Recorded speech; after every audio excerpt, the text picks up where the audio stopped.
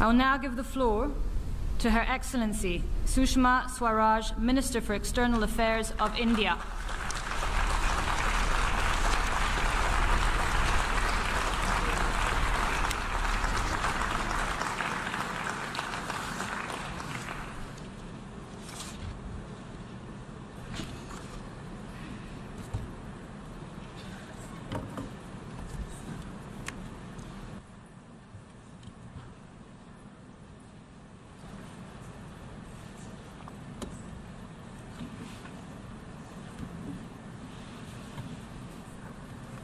नमस्कार। सभापति जी, सबसे पहले तो मैं विदेश मंत्री लाइचेक को यूएनजीए के बहत्तरवें सत्र के सभापति चुने जाने के लिए अपनी ओर से हार्दिक बधाई देती हूँ। हमारे लिए ये गर्व और प्रसन्नता का विषय है कि हम विदेश मंत्रियों में से ही एक विदेश मंत्री आज इस उच्च आसन के लिए चुना गया है। सभापति जी, मैंने पिछले वर्ष भी सभा को संबोधित किया था। इस एक वर्ष के अंतराल में संयुक्त राष्ट्र में और दुनिया में अनेक परिवर्तन हुए हैं। संयुक्त राष्ट्र के नए महासचिव चुने गए हैं और वो संयुक्त राष्ट्र को एक सशक्त संस्था बनाने के लिए जो प्रयास कर रहे हैं, उन प्रयासों का हम स्वागत करते हैं और उन्हें परिवर्तन के एक पुरोधा के रूप में देखते हैं। सभापति जी, आज का विश्व अनेक संकटों से ग्रस्त है। हिंसा की घटनाएँ निरंतर बढ़ रही हैं। आतंकवादी विचारधारा आग की तरह फैल रही है। जलवायु परिवर्तन की चुनौती हमारे सामने मुँह बाए खड़ी है। समुद्री सुरक्षा पर प्रश्न चिन्ह लगा हुआ है। विभिन्न कारणों से अपने देशों से बड़ी संख्या में लोगों का पलायन वैश्विक चिंता का विषय बन गया है। विश्व की आबादी का एक बड़ा हिस्सा गरीबी और भुखमरी से जूझ रहा है।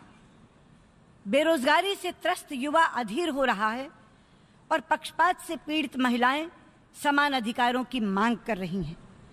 परमाणु प्रसार, यानी न्यूक्लियर प्रोलिफरेशन का विषय पुनः सिर उठा रहा है और साइबर सुरक्षा पर भी खतरा मंडरा रहा है।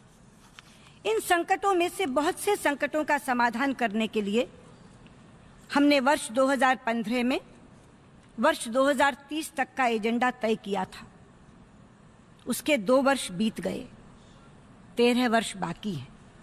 यदि तेरह वर्षों में वास्तव में हम इन लक्ष्यों की प्राप्ति करना चाहते हैं तो यथास्थिति से बाहर निकलना होगा। यथास्थिति बनाए रखते हुए हम इन लक्ष्यों की प्राप्ति नहीं कर सकते। और इसलिए हमें अपने निर्णय प्रक्रिया में तेज़ी लानी होगी और कठोर फैसलों का साहस जुटाना होगा। मुझे प्रसन्नता है कि भारत ने इस संदर्भ में बहुत अभिनव पहल की है। बड़े बड़े साहसिक निर्णय लिए हैं और टिकाऊ विकास के लक्ष्य को केंद्र में रखते हुए अनेक योजनाएँ बनाई हैं। गरीबी को दूर करना टिकाऊ विकास का पहला लक्ष्य है। सभापति जी, गरीबी को दूर करने के दो रास्ते होते हैं। एक रास्ता है, हम उनका सहारा बने और हम उन्हें उनका हाथ पकड़कर चलाएँ। दूसरा रास्ता है कि हम उन्हें ही इतना सशक्त कर दें कि उन्हें किसी के सहारे की आवश्यकता ही न रहे। वो अपना सहारा आप बन जाए। भारत में प्रधानमंत्री मोदी जी ने गरीबी निवारण के लिए दूसरा रास्ता चुना है और इसीलिए वो गरीबों का सशक्तिकरण करने में जुटे हैं। हमारी सारी योजनाएँ गरीब को शक्तिशाली बनाने के लिए चलाई जा रही हैं। जैसे जनधन योजना, Mudra Yojana, Ujjwala Yojana, Skill India, Digital India, Startup India, Stand Up India. योजनाएँ तो अनेक हैं, किंतु समय की कमी के कारण मैं केवल तीन योजनाओं का ही संक्षेप में उदाहरण देना चाहूँगी। सबसे पहली है जनधन योजना, जिसके अंतर्गत हमने विश्व का सबसे बड़ा आर्थिक समावेश फिनेंशियल इंक्लूजन किया है। जिन गरीबों ने कभी बैंक का द्वार नहीं देखा था, ऐसे 30 करोड़ लोगों को हमने बैंक के अंदर पहुँचाया। उनके बैंक खाते खुलवाए और जिनके पास पैसा नहीं था उनका ज़ीरो बैलेंस से बैंक खाता खुला है। दुनिया में किसी ने सुना नहीं होगा कि एक व्यक्ति के पास पैसा नहीं है, मगर पासबुक है बैंक की। ये जो असंभव चीज़ दिखती थी, वो भारत ने संभव करके दिखाई है। तीस करोड़ लोग, छोटा आंकड़ा नहीं है, अमेरिका की समूची आबादी है तीस करोड़। लेकिन तीस करोड़ लोगों को हमने मिशन मोड में बैंक से जोड़ने का काम किया। कुछ लोग अभी बचे हैं, किंतु कार्य जारी है, क्योंकि हमारा लक्ष्य सौ प्रतिशत को इससे जोड़ना है। दूसरी योजना है मुद्रा योजना, जो फंडिंग फॉर दी अनफंडेड के लिए चलाई जा रही है। यानी जिसे कभी बैंक से कर्ज नहीं मिला, केवल उसी को इस योजना के अंतर्गत कर्ज दिया जाता है। और मुझे आपको ये बताते हुए खुशी है कि इस योजना के अंतर्गत 70 प्रतिशत से ज़्यादा ऋण केवल महिलाओं को दिया गया है। सभापति जी, बेरोजगारी गरीबी को जन्म देती है। इसलिए स्किल इंडिया योजना के अंतर्गत गरीब और मध्यम वर्ग के युवाओं के लिए उनकी रुचि और योग्यता के अनुसार कौशल देने के बाद मुद्रा योजना, स्टार्टअप इंडिया योजना और स्टैंड अप इंडिया योजना के अंतर्गत ऋण देकर हम उन्हें स्वरोजगार के काबिल बना रहे हैं। तीसरी योजना है उज्ज्वला योजना। सभापति जी, गरीब महिलाओं के लिए रोज रोज रसोई का ईंधन जुटाना एक बहुत कष्टदायक प्रक्रिया है। और उसके बाद उस धुएँ से उनकी आँखें दिन रात अंधी होती चली जाती हैं। इन दोनों पीड़ाओं से मुक्त करने के लिए उज्जवल योजना के अंतर्गत हम गरीब महिलाओं को मुफ़्त गैस का सिलेंडर दे रहे हैं। और ये महिला सशक्तिकरण की दिशा में एक बहुत ही महत्वपूर्ण कदम है।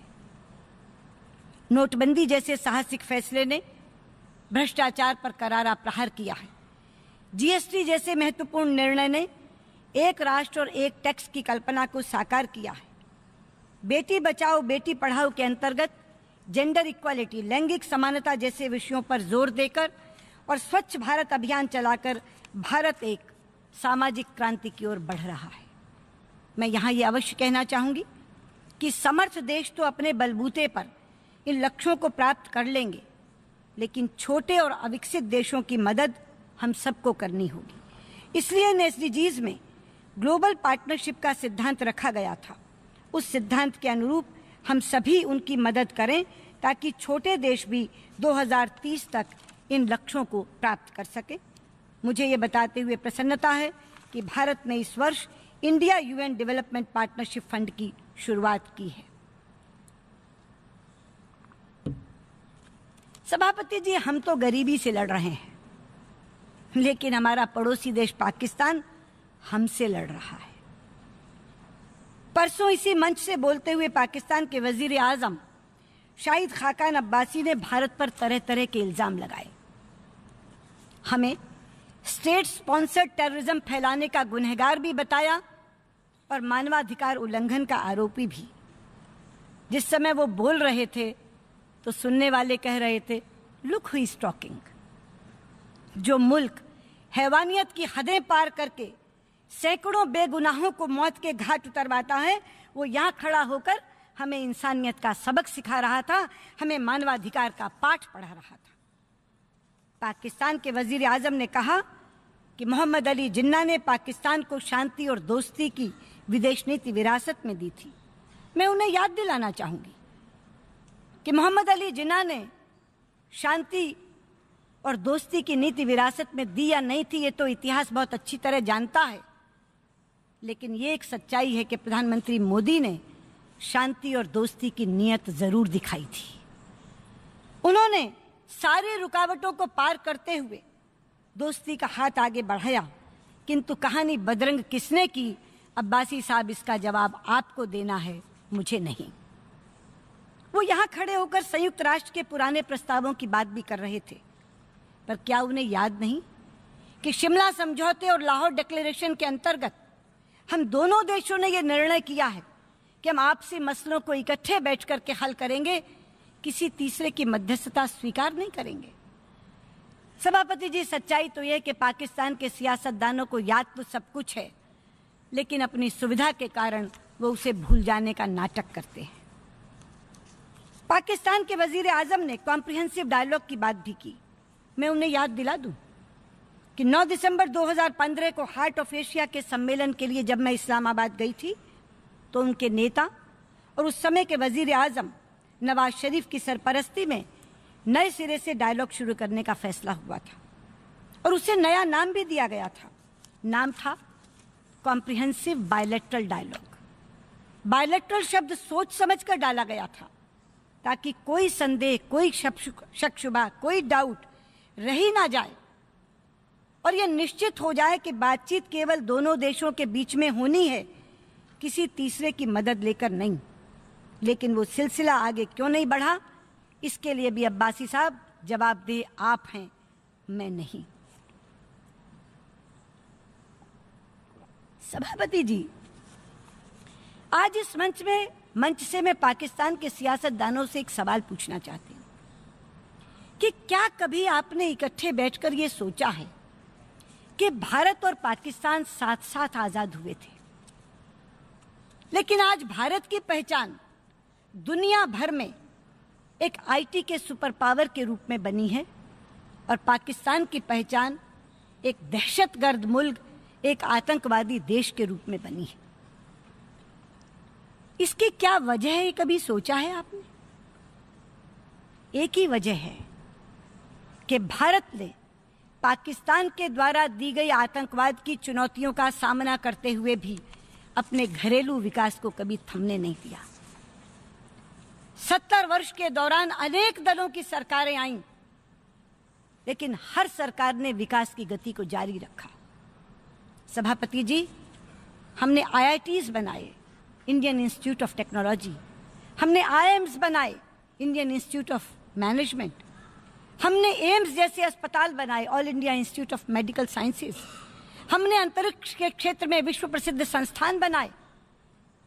पर पाकिस्तान वालों, आपने क्या बनाया? आपने लश्कर तैयबा बनाया। आपने जैश मोहम्मद बनाया। आपने हक्कानी नेटवर्क बनाया। आपने हिजबुल मुजाहिदीन बनाया। आपने आतंकवादी ठिकाने बनाए। आपने टेररिस्ट कैंप्स बनाए। सभापति जी, हमने स्कॉलर्स पैदा किए, हमने साइंटिस्ट पैदा किए, हमने इंजीनियर्स पैदा किए, हमने डॉक्टर्स पैदा किए। पाकिस्तान वालों, आपने क्या पैदा किया? आपने दहशतगर्द पैदा किए, आपने जिहादी पैदा किए। और आप जानते हैं कि डॉक्टर्स मरते हुए लोगों की ज़िंदगी बचाते हैं और जिहादी ज़िंदा लोगों को मार डालते हैं। और आपका जिहादी संगठन केवल भारत के लोगों को नहीं मार रहा, वो हमारे पड़ोसी देश अफ़गानिस्तान और बांग्लादेश के लोगों को भी मार रहा है। वो भी उनकी गिरफ्त में है। सभापति जी यूएनजीए के इतिहास में ये पहली बार हुआ है कि किसी देश ने शाम को राइट टू रिप्लाई मांगा हो और एक साथ उसे तीन तीन लोगों को स्पष्टीकरण देना पड़ा हो तीन तीन देशों को जवाब देना पड़ा हो। यह अकेला तथ्य पाकिस्तान की करतूत को दर्शाता है। मैं कहना चाहूँगी, पाकिस्तान वालों, जो पैसा आप आतंकवादियों की मदद के लिए खर्च कर रहे हो, अगर उसे अपने आवाम की भलाई के लिए खर्च करो अगर अपने मुल्क की तरक्की के लिए खर्च करो तो एक तो दुनिया का आतंकवाद से पीछा छूट जाएगा और साथ ही आपके आवाम का कल्याण हो सकेगा, आपके मुल्क का विकास हो सकेगा।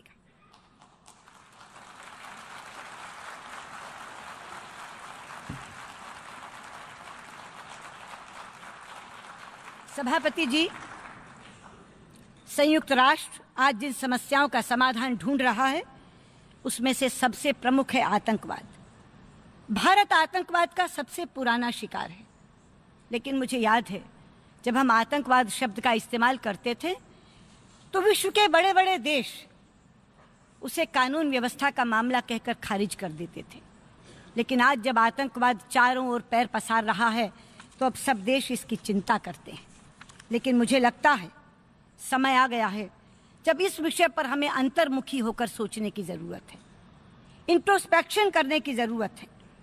हम सभी देश बायोलेट्रल डिस्कशंस में, द्विपक्षीय वार्ताओं में मल्टीलेटरल फोरम्स में, बहुपक्षीय मंचों से, जब भी संयुक्त वक्तव्य जॉइंट स्टेटमेंट जारी करते हैं तो सभी में आतंकवाद की भत्सना करते हैं और उससे लड़ने की एकजुटता का संकल्प भी लेते हैं।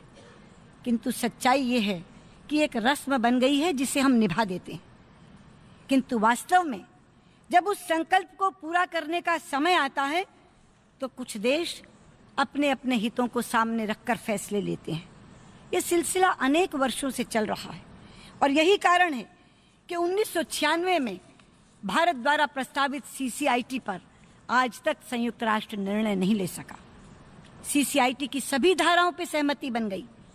अगर नहीं बनी सहमति तो एक धारा पर, और वो है आतंकवाद की परिभाषा। मैं कहना चाहूँगी, परिभाषा ही तो जड़ है, जिसमें से अच्छे और बुरे आतंकवादी का अंतर निकलता। अगर परिभाषा पर एक राय नहीं बनेगी तो हम एकजुट होकर कैसे लड़ेंगे? अगर मेरे और तेरे आतंकवादी की दृष्टि अलग अलग हो जाएगी तो हम एकजुट होकर कैसे लड़ेंगे? यदि सुरक्षा परिषद में टेररिस्ट की लिस्टिंग पर भी मतभेद उभर आएँगे तो हम एकजुट होकर कैसे लड़ेंगे? इसलिए सभापति जी आपके माध्यम से आज मेरा इस सभा से विनम्र अनुरोध है कि हम अलग अलग नजरियों से आतंकवाद को देखना बंद करें। हम समदृष्टि बनाएँ और स्वीकारें कि आतंकवाद समूची मानवता के लिए खतरा है। कोई भी कारण कितना भी बड़ा क्यों ना हो, हिंसा का औचित नहीं बन सकता। इसलिए अगर हम एकजुटता से लड़ने का संकल्प लें तो उसे माने भी। और अगर माने तो उसे अमली जामा भी पहनाएँ। और मैं चाहूँगी कि इस वर्ष सीसीआईटी की परिभाषा पर सहमति बनाकर हम इस साल अवश्य में सीसीआईटी को पारित कर दें। सभापति जी, एक संकट मैंने जलवायु परिवर्तन के बारे में बताया था। जलवायु परिवर्तन के संबंध में भारत ने स्पष्ट कर दिया है कि हम पेरिस समझौते की सफलता के लिए प्रतिबद्ध हैं। और यह प्रतिबद्धता किसी लोभ या लालच के कारण नहीं है, किसी भय या डर के कारण नहीं है। ये प्रतिबद्धता हमारी पाँच हज़ार वर्ष पुरानी संस्कृति के कारण है। और इस विषय में प्रधानमंत्री मोदी ने अपनी ओर से एक अभिनव पहल करके इंटरनेशनल सोलर अलायंस का गठन किया है। सभापति जी, हम समूचे विश्व में शांति की कामना करते हैं।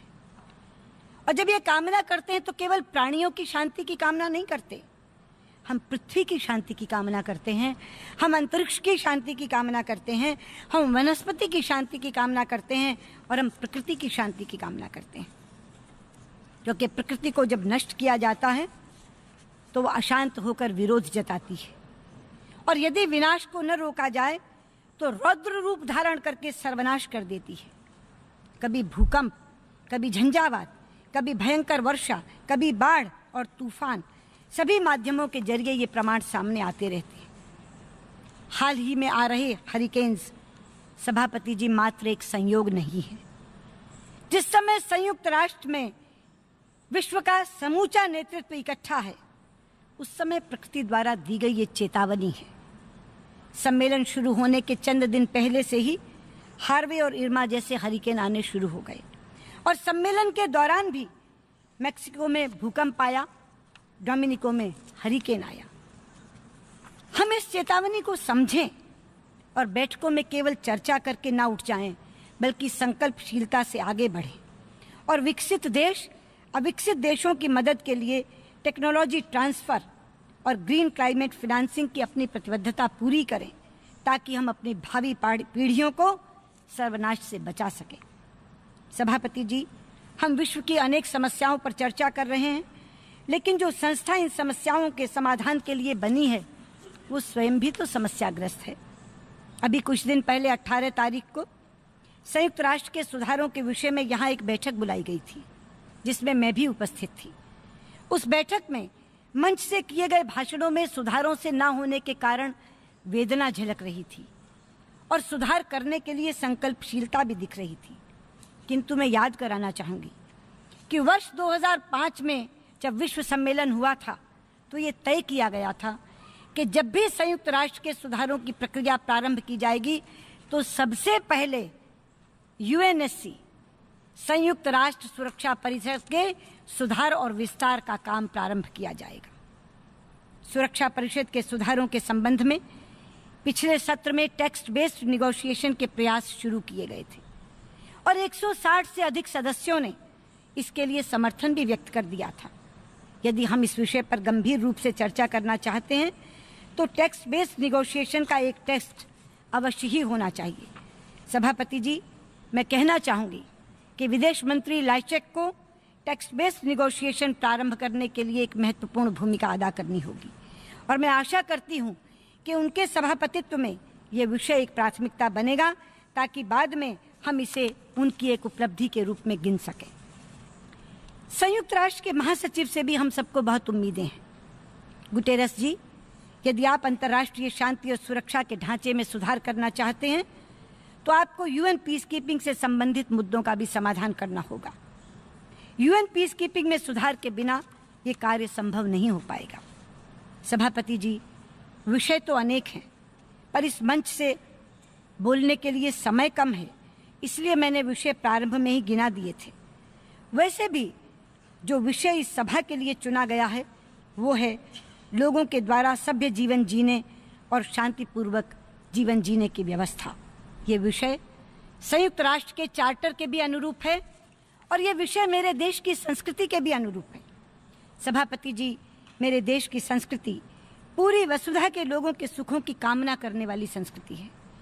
हम वसुधैव कुटुंबकम कहते हैं, जिसका अर्थ है पूरा विश्व एक परिवार है।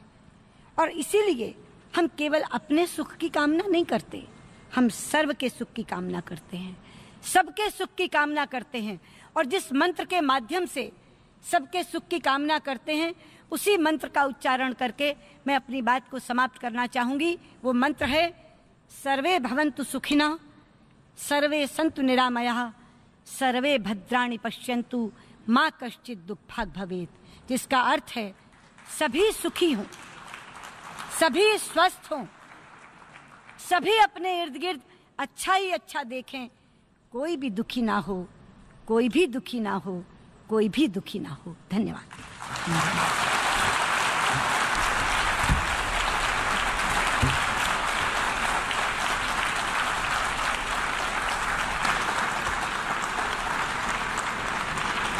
I thank the Minister for External Affairs of India for her statement.